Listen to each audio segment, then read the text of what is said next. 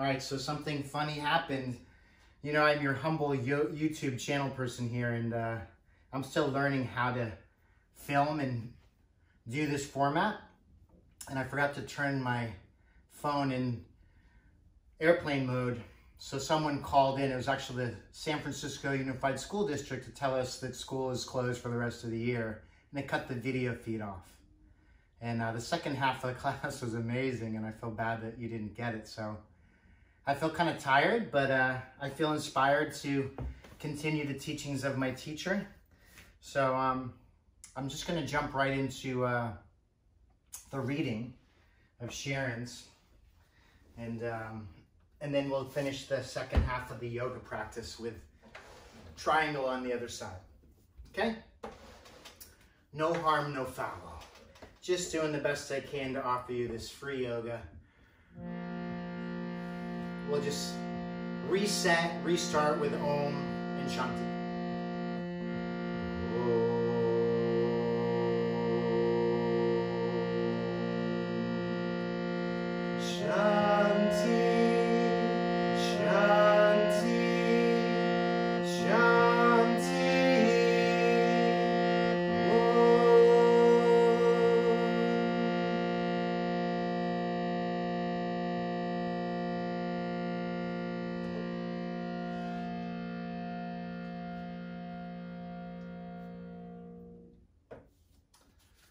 cat hair, sorry about that. All right, so we're going to continue with our reading of Sharon's beautiful book, The Magic 10 and Beyond, Daily Spiritual Practices for Greater Peace and Well-Being. You know, in week one, we talked about gratitude. In the morning, getting up, maybe still lying in bed with the eyes closed, just start to list all of the things that you were grateful for all the things that you still have today. So many things have been taken and removed from our daily lives. But instead of focusing on that, focus on the things that remain in your life today. You know, I'm so grateful for my teachers and the teachings. I'm so grateful for my children. You know, I'm I'm grateful for the experience of experiencing the grief of losing my mother just over a month ago. You know, all these things are important now to remember. I'm, I'm grateful I can be of service to others. Um, so yeah, week one, we, we awaken the way through gratitude. In our second week, she gives us the practice of blessing the way, and to giving blessings to those in our lives, to being of service to those in our lives. Um,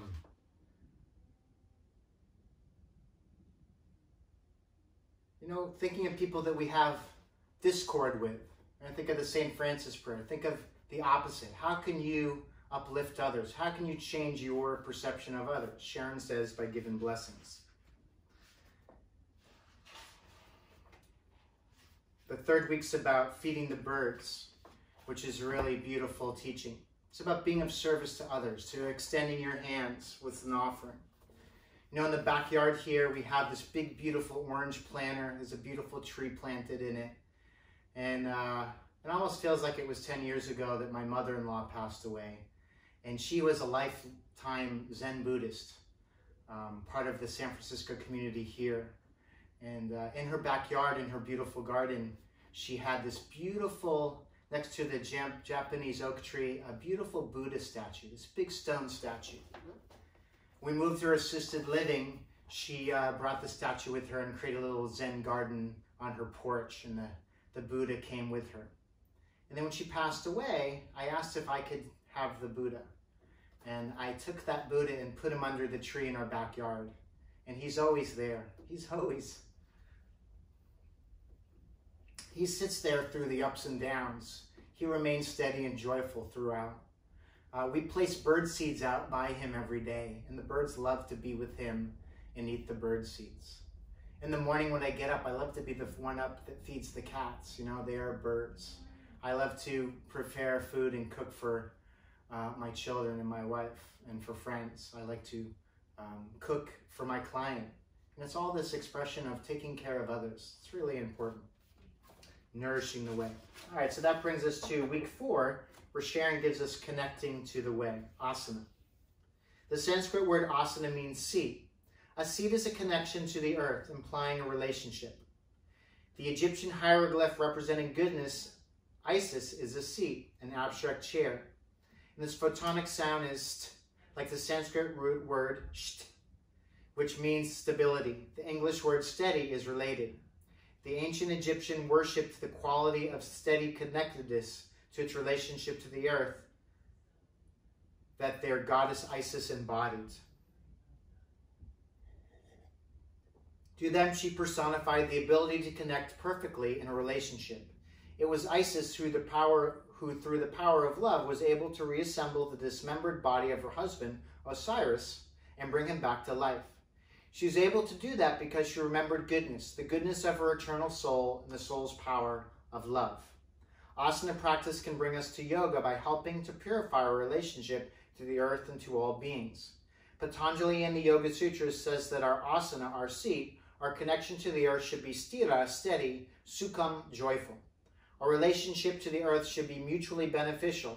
It should benefit ourselves and others. Our lives should not be lived selfishly. If we desire yoga, to remember connection to the Supreme Self, everything we do, including our yoga practice, must be done selflessly, with conscious intention to let go of negative tendencies to urge us to hurt others and to see ourselves as victims. Selfishness disconnects us from the yogi's way. Is asana a physical or spiritual practice? The practice of yoga must be must have a physical body. You must have a physical body. Your intention while you are practicing asana will determine the result of the practice, and your thoughts are the most powerful force working upon you. For an asana practice to be a spiritual practice, the practitioner has to intend it to be. Many people to choose to practice yoga asanas only to improve their level of physical fitness, and there's nothing wrong with that. But for those of you who want more, asana has more to offer. The practice can bring you to enlightenment. How? by helping you to shift your perception of yourself and others. Asana can be therapeutic practice that improves our relationships. Karma means action. We act in relationship to others. Everything we think, say, and do involves us with others, other people, animals, trees, plants, and the overall environment. Even our relationship with ourselves is affected by our relationships with others. How we perceive ourselves is dependent on our relationship with others. Others can hurt our feelings. If we feel that someone we admire doesn't like us, we may worry and start to think that we are somehow flawed. Whereas experiencing support and encouragement from others can give us confidence and make us feel invincible. It is natural to want to be respected and loved. Relationships that are one sided are not considered good relationships. If we want to be loved, we must love. If we want to be forgiven, we must forgive. Whatever we want for ourselves, we should make happen for others. This consideration must extend to all others and even to the earth and the environment. To treat others as we want to be treated is the way to establish mutually beneficial relationships, relationships that are steady and joyful. The practice of asana is designed to purify our relationships and is indeed a very physical practice, but with deep emotional and spiritual potential. One of the think I one of the things I love about Sharon, I've known her for a couple of decades now, is that she never tires. She's always on point. She's very clear and eloquent in her thought and speech on the subject of God realization, on yoga, on enlightenment. And she just gets up every day and year after year, and she gives us new material could be in form of music, could be in form of a book, could be in form of a workshop, a practice, a visit. And it's always the same message. It's always the same teachings of yoga. And I love her for that. Thank you for giving us this beautiful example of being a selfless servant to God. The karmas generate our interactions with others, are stored in the tissues of our bodies. In fact, it is our karmas that actually make up our bodies. So moving the body through asana practice with the intention of purifying our karmas, resolving relationship issues, will help us feel more comfortable in our bodies, resulting in more happiness. When our connection to the earth and all others is mutually beneficial, we are on our way to yoga. True self-realization, the realization of the oneness of being, where others disappears. Otherness disappears. In week four, we focus uh, the focus is on asana, and we practice the Magic 10, a series of 10 simple asanas that can be done in about 10 minutes. The Magic 10 moves the spine in all the various ways that the spine can move. For this reason, it is an effective physical, physically therapeutic daily exercise program that keeps the spine limber and the joints mobile, as well as toning muscle and internal organs. The practice will also stimulate the endocrine system, instigating a release of natural feel-good chemicals such as dopamine. It is akin to accessing your own physical pharma pharmaceutical laboratory, and the good news is no negative side effects. Undertaken with intention, the asana practice can also act as a powerful psychotherapeutic transformational tool with the potential to integrate body, mind, and the spirit.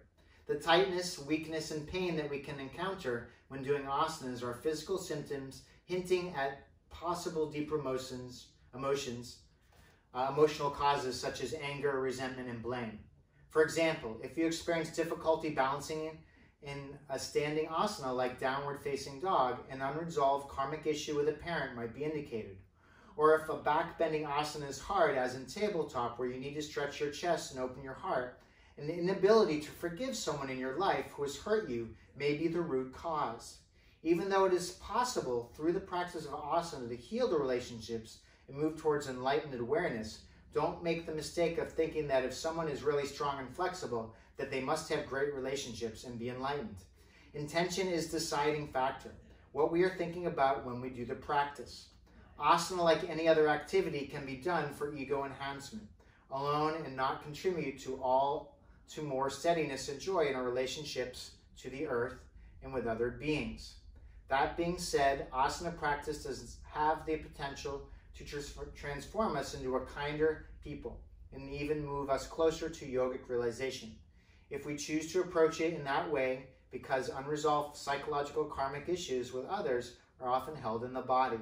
If we have the patience to place our body into a position, stay there for some time, and breathe consciously while maintaining a positive frame of mind that is free of negativity, we can begin to reconnect to our physical,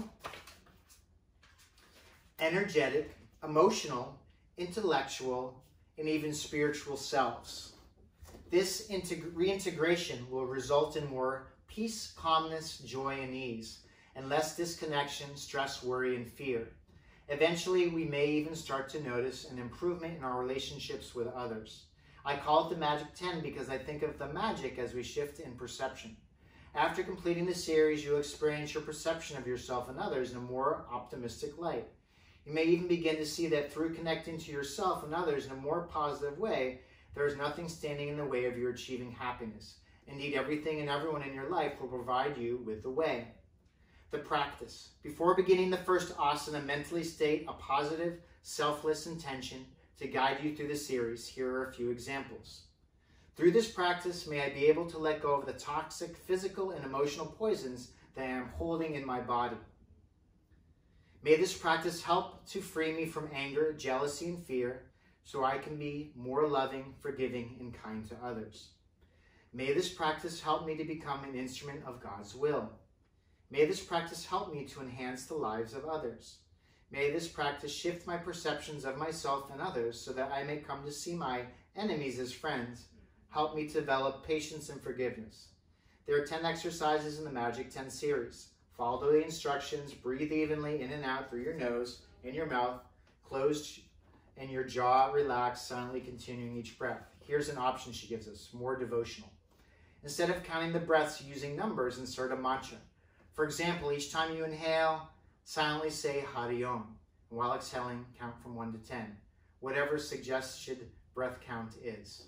You could replace that with let go, you could replace that with a prayer like Loka, Samasta, Sukhino Bhavantu. Sharon, thank you so much. We love you so much. So when my video got cut off, I realized after I taught the whole class, I kind of felt a little let down and I was going to give up. I said, you know what? I'm not going to do it today. I'll just have to reshoot this another day. But then I thought of all the people right now that are struggling, having a difficult time. I said, you know what? Who cares if I'm underslept? Who cares if I feel tired now because half the video wasn't shot properly because I forgot to set the functions on the phone. I'm going to just dig a little bit deeper. I'm going to use the asana practice and the teachings to help uplift me and motivate me to continue to teach. So here's the second half of the asana practice. And uh, I think we left off from where I saw the video in triangle pose. So let's get reestablished. I bow to my teachers. I'm gonna look for part of the playlist here. All right, here we go. All right, so we did our triangle pose on the right side. We're gonna inhale, come up. We're gonna change position. You can bring your hands to your hips, change position of your feet, right toes forward, left toes in. Inhale the arms to shoulder height. Exhale, reach forward and down. Let the right hand land wherever it's gonna land. Don't distort the hips or move the seat back. Keep everything nice alignment so you can then just extend the left arm up. Complete the pose with your gaze, holding here, inhale. Exhale, one. Inhale. Exhale, two. Inhale. Exhale, three. Inhale. Exhale, four. Inhale. Exhale, five. Inhale, come all the way up. And then step or jump the feet together. You know what the video cutting off did for me is it gave me some humility. And in yoga asana practice and yoga practice, humility is gold. Anything that's gonna push that high, uh, lower self down, that ego centered self, it's gonna give space for that higher self to rise up and do something like recommit to teaching the class again. So thank you for this opportunity. Okay, so we did that. All right, we're gonna do this. Okay, so step or jump your feet together, hands to prayer. Think of one of the suggestions Sharon gave us. I offer myself to thee to make me an instrument of thy will. Om Shanti. Inhale, bend your knees deeply, lift the prayer up. Utkatasana. Exhale, diving forward, place your hands down. Inhale, come to a flat back, look up. Exhale, step or jump back, slowly lower, chaturanga. Inhale, upward facing dog. Exhale, back, downward facing dog. Inhale, step your right foot forward, turn your left heel down. Lift the prayer overhead, warrior one. And then you're gonna hold here. Inhale. Exhale, one, relax the shoulders, lift the chest. For two, find your gaze towards the thumbs as you lift the prayer up. For three, inhale, straighten your right leg. You're gonna release your arms alongside the hips, and you're gonna interlace your hands here. We're gonna move into humble warrior. It's hard to interlace the hands. The thing that I've used for many decades is just a towel. I can use it to wipe the sweat off my brow, but also use it as a prop. You're gonna inhale, lift the chest, look up. Exhale, rebend the right knee. Draw the right, uh, draw your fore, uh, top of the head towards the instep of the right foot. Inhale.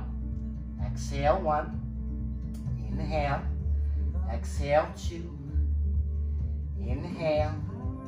Exhale, three. Inhale. Exhale, four. Inhale. Exhale, five. From here, you're going to place your hands to the instep of your right foot. You can turn the right toes out, turn the left heel up. And you can stand the hands the way to advance the heart forward or drop down onto your forearms. If you want to bring the back knee to the floor at any point, even with the hands on the floor, that's a good option. Keep the gaze a little bit in front of you. Continue to breathe here. Inhale. Exhale, one. Breathing for five.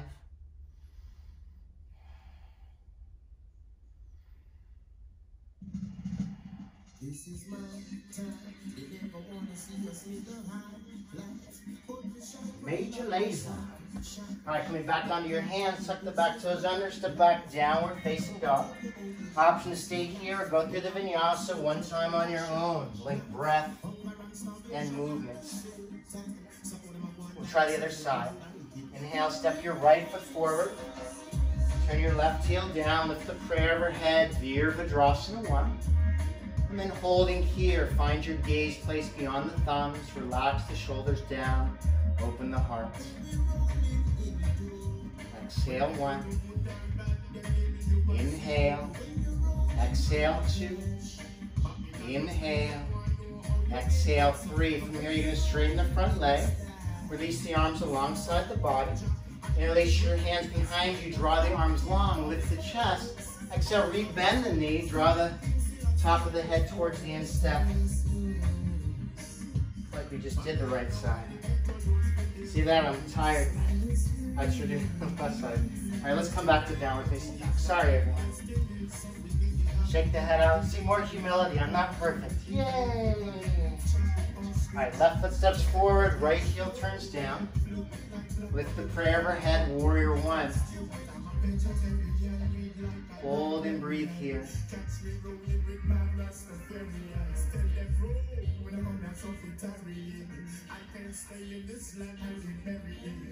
Again, you can think of Om as a way to reset.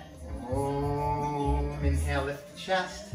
Exhale, begin to draw the top of the head towards the instep of the left foot. And breathing here, inhale. Exhale, one. Inhale. Exhale, two.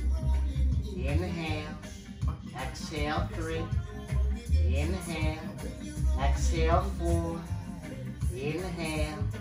Exhale, five. Release your hands to the instep of the left foot.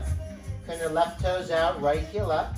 If you want, again, drop the back knee to the floor. This is a good variation. Or come onto your forearms. Again, use the traction of the forearms to pull the chest forward. Breathing here, five breaths.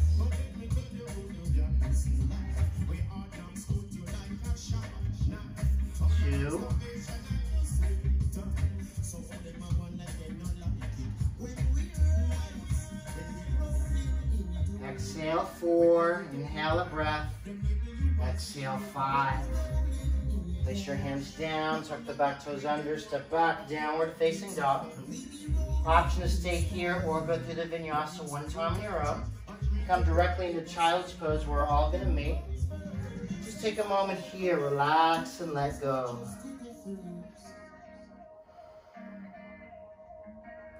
Again, think of your intention as you do the practice. Get away from wanting just better biceps.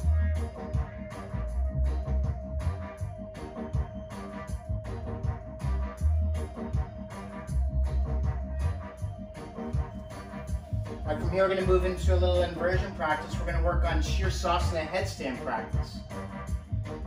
I see a lot of new students, they just kind of pass by. They don't want to even attempt the half pose. But it's okay to do things that are difficult. It's okay to do things that are challenging. It's okay to show up for yourself in that way and others. So let's try the half pose, even if you find it difficult. I'll walk you through the beginning steps. You have an option to stay there. You can come further into the full pose if you follow along. So first, interlace your hands. You're gonna bring your elbows a little bit closer than shoulder distance. Top of the head on the floor behind your hands. Tuck the toes under, straighten the legs, and walk the feet in. At this point, I want you to lift the head off the floor an inch, so 100% of the weight is in the arms. You want 80% of the weight in the arms for headstand, so lower the head just that 20%. Shoulder blades moving away from your ears. And then if you want, walk the feet a little bit closer. And then option to stay here. Just stay here, even if it's a little difficult, and breathe. Hold as long as you can. If you're ready, you want to take it a step further, knee comes in the chest. Stay here. If and when you can lift the other foot off the floor, you're going to bring these together and create this egg shape. Okay, and then if you want, straighten the legs. Come all the way up.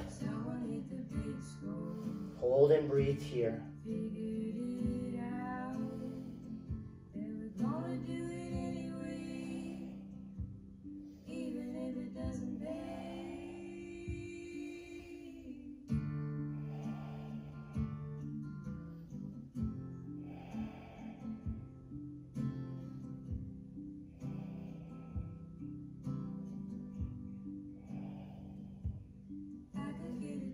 Deciding to come down, do it consciously, do it slowly. Rest in child's pose. Again, take this opportunity to remember your intention. Thy will, not mine, be done. Breathe in and breathe out.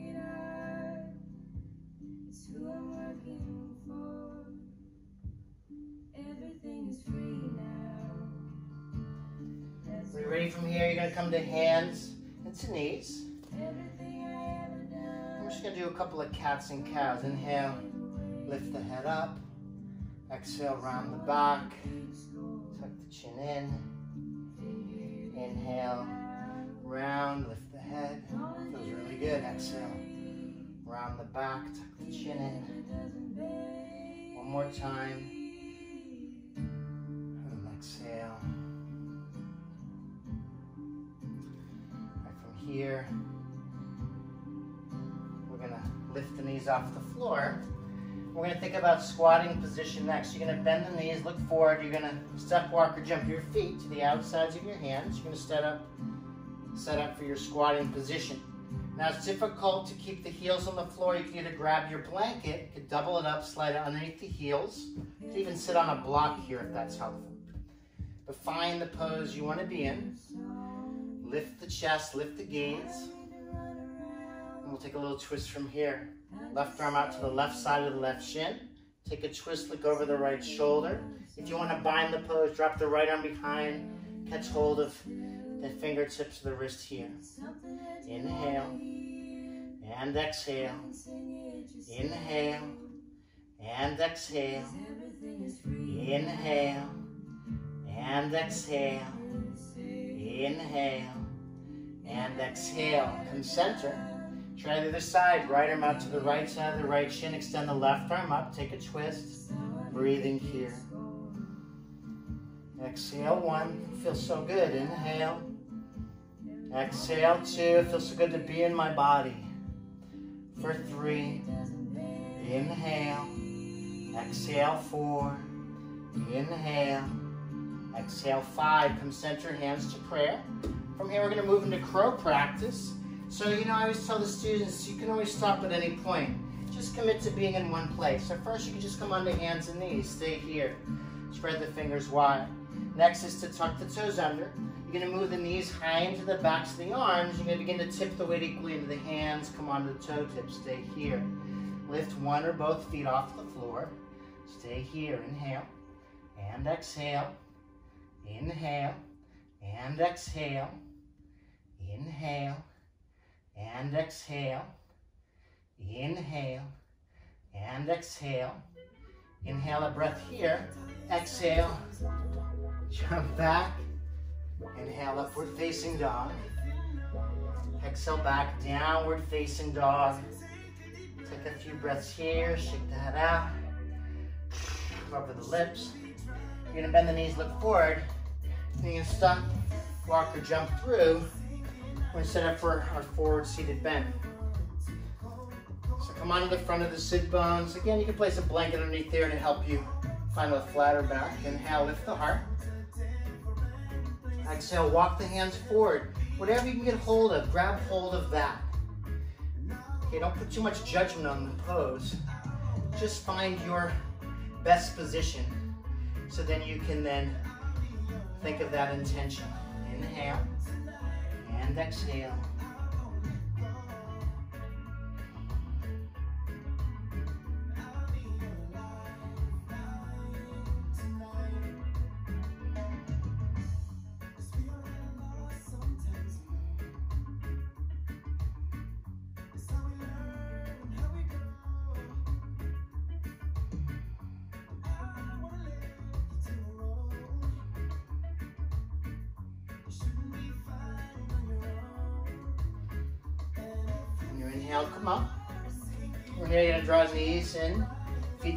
for cobbler's pose. Try to bring your thumbs to the insides of the feet. Open the feet up, lift the chest. Exhale, folding forward, breathing here. Connect to the sound in the breathing. Let the mantra ride on the inhale and exhale. Inhale, let's. Exhale, go. Or inhale, loka. Samasta, exhale, Sukhino, Bhavantu.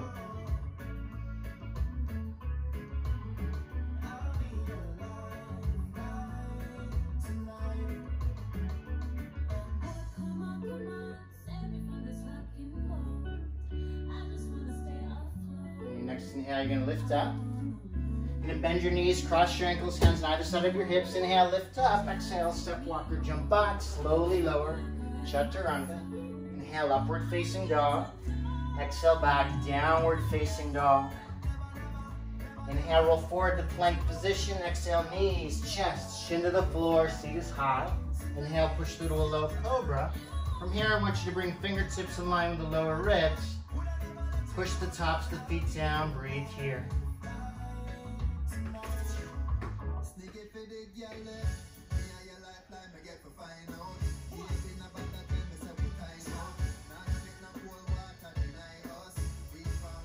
Inhale. Exhale, five. Release down, turn your face to one side. Just pause here for a moment.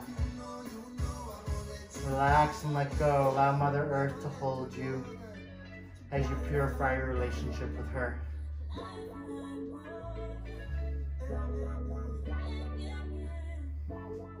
Forehead down, Shalabhasana next. This is with straight legs. Inhale, lift head, chest, straight legs off the floor. Come up. Inhale. Exhale, one. Inhale. Exhale, two. Inhale. Exhale, three. Inhale. Exhale, four. Inhale a little bit higher. Exhale, release down. Turn your face to the opposite side.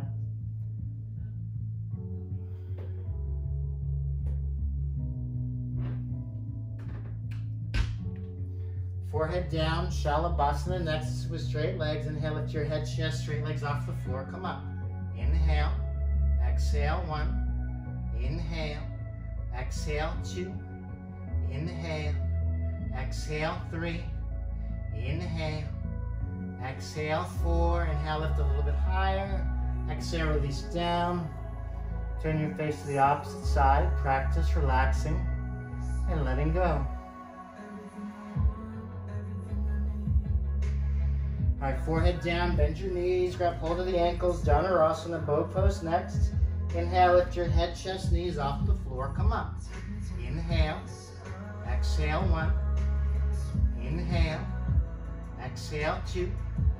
Inhale, exhale, three. Inhale, exhale, four. Inhale, exhale, five. Release down. Turn your face to the opposite side.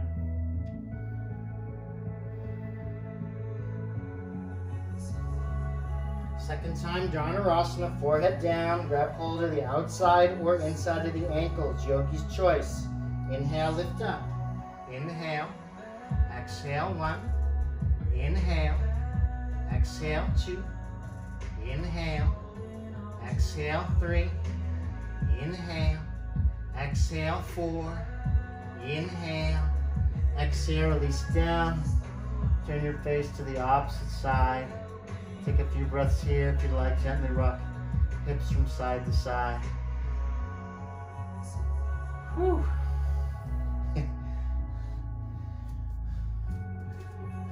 Two hours of yoga asana today. It's gonna be good for me, right? A lot of people are gaining a lot of weight in this mandatory shelter in place. I'm gonna lose a little bit of weight today. All right. Starting with a half wheel, you're gonna lie on your back. Bring your feet about hip distance apart and parallel. On an inhale, lift your lower, middle, upper back off the floor. And then interlace your hands underneath you. Move from shoulder to shoulder. Get a little stronger, steady base here. If you want to grab a block, place it underneath the sacrum, that's an option. Keep the throat open. Inhale. Exhale, one. Inhale. Exhale, two. Inhale, exhale three. Inhale, exhale four. Inhale, exhale, release down.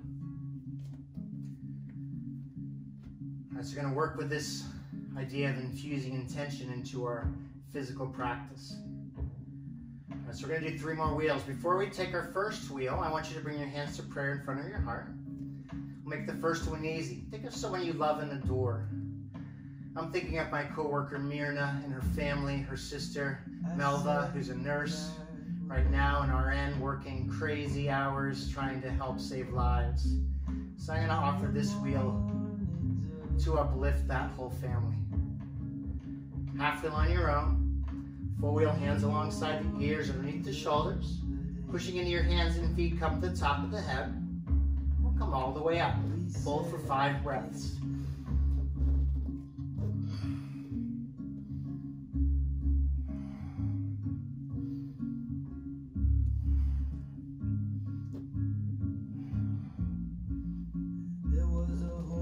Tuck the chin in, gently release down. Alright, so we started the heart chakra. We're now going to move to the throat. Now we're going to think of someone that we do not like. Someone who could be locally, could be someone nationally, could be someone who's in charge of a lot of our choices right now. And offer that same beautiful, lovely wheel. Right? Purify that relationship. You know, you have a choice to be an enlightened being or a victim. That's what Sharon always tells us. So make a choice here. See another person as an enlightened being. Don't see them as someone that you can use as an excuse to blame, complain, and explain about. Okay, so think of the person. I know who I'm thinking of. I'm going to offer this beautiful wheel up to this person. Inhale, come up. You could do something like love and blessings. Say the name for one. Five breaths.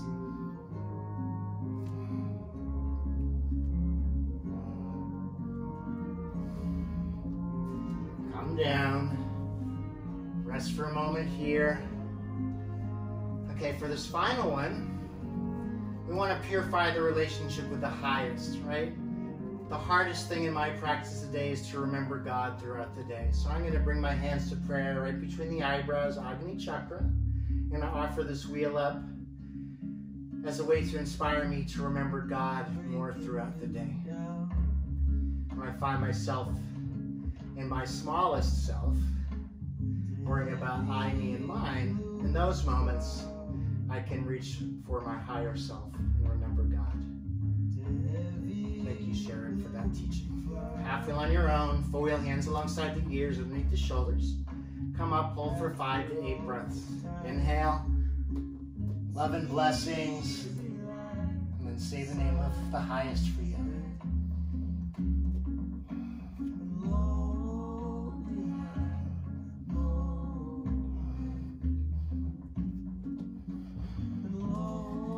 Once you complete your fifth to eighth breath, come down, draw your knees in your chest, and just rock a little bit from side to side of the lower spine.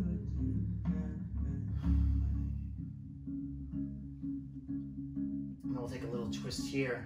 Bring your knees over to the left side as you bring your gaze over to the right side. And here you can just let gravity help do the twisting and see if you could let go. Find some softness in the hardness. Remember who you dedicated your practice to. My mother, Jeannie Maria, her maiden name, Parks. On her way home to her loving Jesus Christ, who she adored more than anything. I offer this practice to her in her journey home.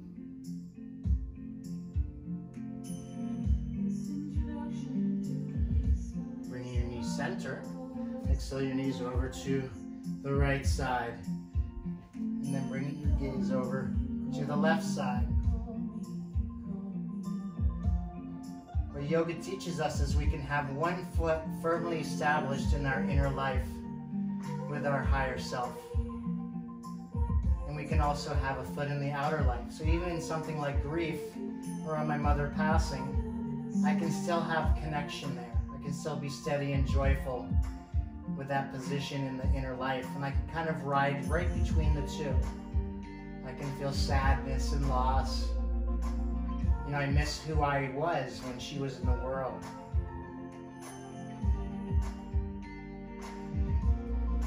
That is something that I have lost. She is gone, and I am not that person anymore. Coming centered. But what comes in place of all of that is more maturity, more groundedness, more established connection to that self.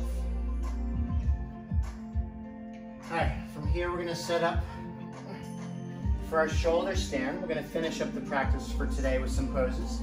So if you want for variation, just come to a wall, bring the legs up the wall. If you have a sofa nearby, bring your legs on the sofa. Just lift the knees up. If you have a shoulder stand practice, use padding, set up padding. Make sure you have enough space to operate in the space you're in. Come through Halasana, hands firmly on your back. Lift the legs up. Keep a little space around the throat. Remember that pharmaceutical Sharon was telling us about? Well, here it is. In this pose, by turning upside down, I stimulate the endocrine system and I begin to produce dopamine, natural drug in the body, which will help bring me some euphoria, some good feelings, some positive energy. And I need that right now. I need that more than ever. So turn to these practices. They will deliver. Don't shy away. Don't think because you're underslept that you can't do these practices. Because you are consumed by news and stories online and on the TV. Don't replace your yoga practice with that. In fact, double up on your yoga practice. Do some practice in the morning as well as the evening. Right? Patanjali reminds us, Atha Yoga Anushasanam. Yoga is happening right now. So get up, get into your practice. It'll deliver, I promise you. I'm talking from experience.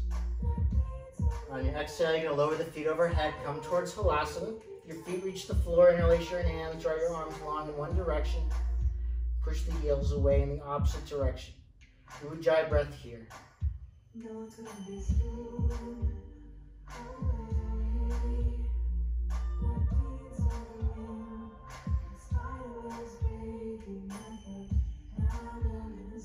And release your hands, press your arms down, keep the head on the floor, gently roll all the way onto your back. And then you're gonna set up for Matsyasana fish pose. So you want your legs straight on the floor, arms close alongside the body. Pushing in your forearms and elbows, lift the head up, bring the top of the head to the floor. Think of that throat chakra that you're purifying so you can clean up your speech. So the words that you choose coming out are not ones that are blaming, complaining, or explaining, but instead words of upliftment, support, and love.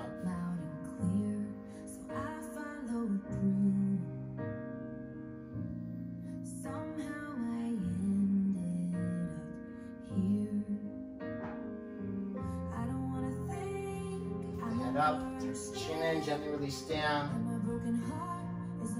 Just take a short Shavasana, just for about a minute. After the practice is done, when we go off of the YouTube channel, can take an extended 10 minute Shavasana.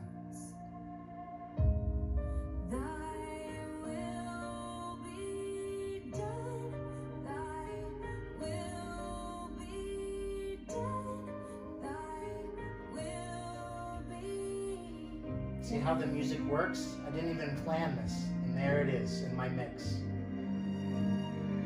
Sharon's offering to infuse a practice with Thy will be done. Begin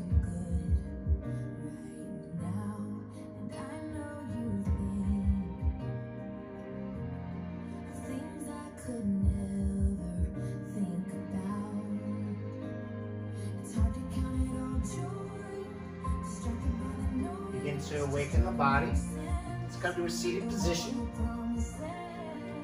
And we're going to finish our practice for today. I'm so happy that I gave it a second attempt give the teachings for today.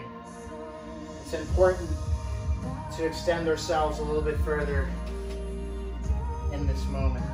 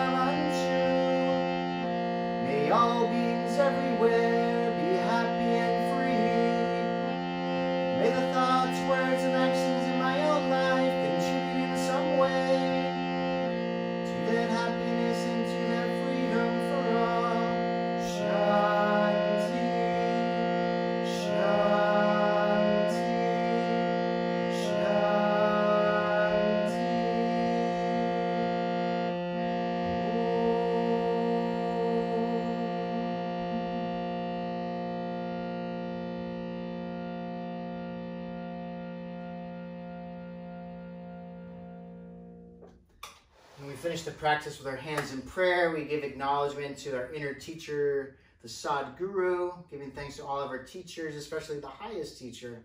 Bowing forward, Om Bolo, Sadguru, Bhagavan Ki, Jai. Hari Om Tat Sat. Inhaling, come up. Nice to see all of you. Thank you so much for following today our reading of Sharon in the meditation part one with Brahmananda Saraswati. At this point, you could sit and meditate. I have a beautiful altar here I've created. I've got Hanuman, I've got Krishna, I've got Jesus for my mom, some candle. I got Brahmananda Saraswati. I've got uh, Swami Nirmalananda and Sri K. Pattabhi Jois. You know, some things that make me want to sit, that are attractive to me, that make me want to sit and connect to that higher self. So we'll continue with our yoga lifestyle. I'm going to be doing some cooking instructions soon on some beautiful vegetarian cuisine, like a classic khichdi. So I look forward to seeing you soon. Thanks for your attention. God bless you. Have a great day.